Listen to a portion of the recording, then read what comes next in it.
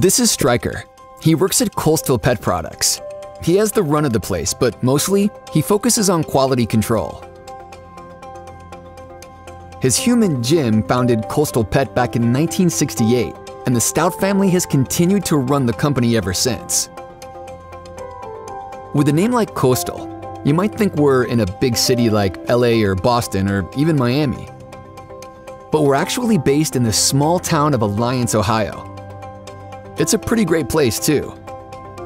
Being an Alliance puts us in the heart of the country, and from here, we ship our products to your local pet stores, whether they're on the Atlantic, the Pacific, or even as far away as New Zealand. But maybe you've never heard of us. We've kept a low profile, but now we want everyone to know who we are and what we're about.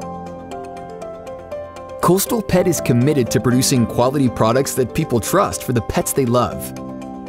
Coastal Pet has also been a huge part of establishing industry standards for product safety, strength, and durability throughout the years.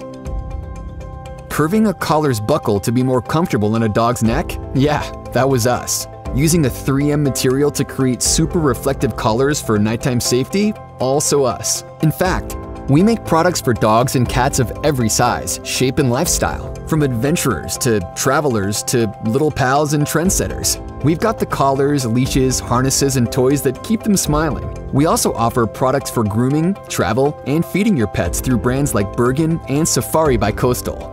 Want to learn more about Coastal Pet, our amazing products, or any of our brands? Check out coastalpet.com and be sure to follow us on your favorite social media channel.